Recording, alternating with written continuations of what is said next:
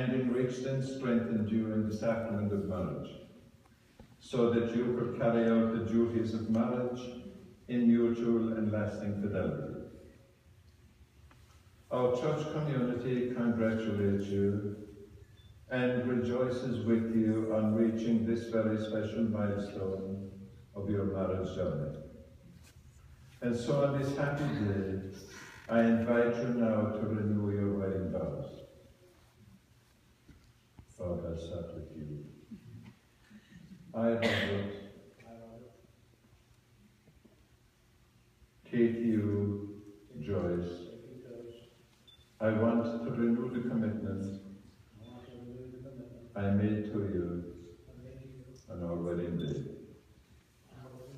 I promise to continue to be true to you, to continue, in good times and in bad, in sickness and in health. I will love you and honor you all the days of my life.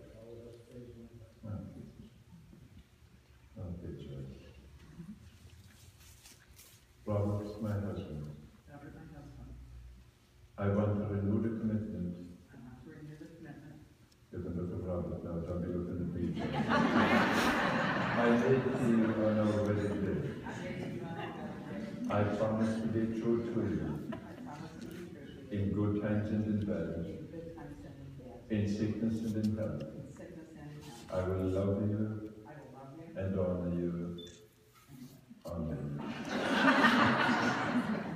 All the days of my life. all the days of my life. Okay, Doc, I want you to place your hand on the ring of Joyce's finger and repeat these words after me.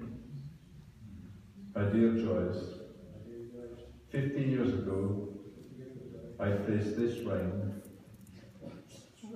on your finger as a sign of unbroken love, as a promise of care, and a pledge of concern without end. Today I repeat that promise and take you again to myself as God's gift. Okay, I want you to do the same now, just place you and repeat these words after me. My dear Robert, My dear Robert, 50 years ago, I placed this ring I place this ring on your finger on your finger. as a sign of unbroken love, as a sign of unbroken, as a promise of care, as a promise of care. and a pledge of concern and a pledge of concern. without end. without end. Today I renew that promise Today I renew that promise. and take you again and take you again to myself to myself. as God's gift.